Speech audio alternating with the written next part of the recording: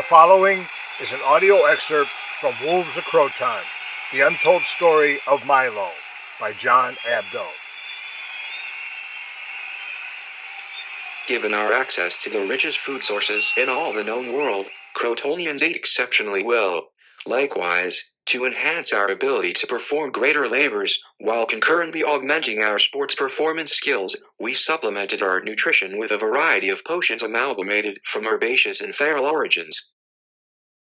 Chymos was the title assigned to this classification of alimentary brews, several of which were Anip's own recipes, and others of which were formulated inside the laboratories of Pythagoras and Colophon. The concoctions, as might be expected, were difficult to swallow, but after ingestion, the resulting surge in mental clarity and physical robustness was invigorating.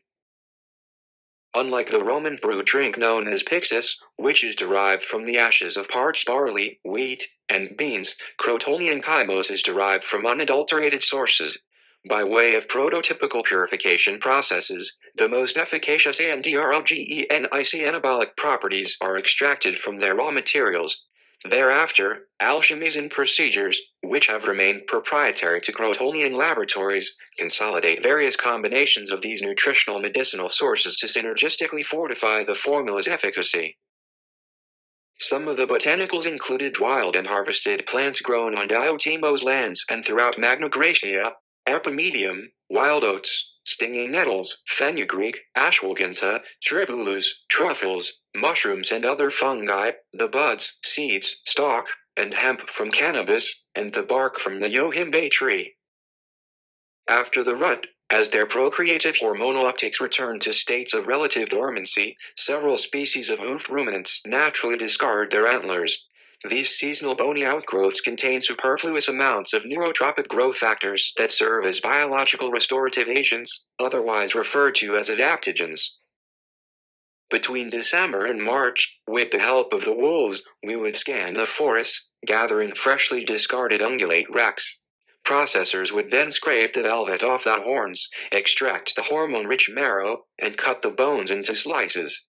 These raw materials were then placed into a pot filled with a precise combination of mongoose blood and pregnant swine urine, then infused with many of the herbals mentioned above. With periodic frequency, the testicles of castrated bulls and swine were consumed raw or steeped into our soups. Regularly, along with the given animal's blood and semen, other vital organs, such as brains with their pituitary, pineal, and hypothalamus glands, thyroids, pancreases, gall bladders, livers, and adrenals were also tossed into the mixtures. As for our chymos, some we drank, others we blended into a paste mixed with honey, mashed figs, or dates. In addition to dramatic surges in mental and physical powers, our capacity to endure stress and tolerate pain was greatly enhanced. Tasks that would have normally reduced our breathing to hyperventilation became readily achievable, while resistances that might have once strained our strength were muscled through with ease.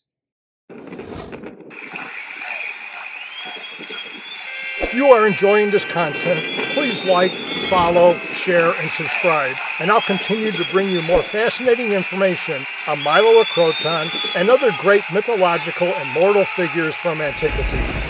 I'm John Abdo, thanking you for watching.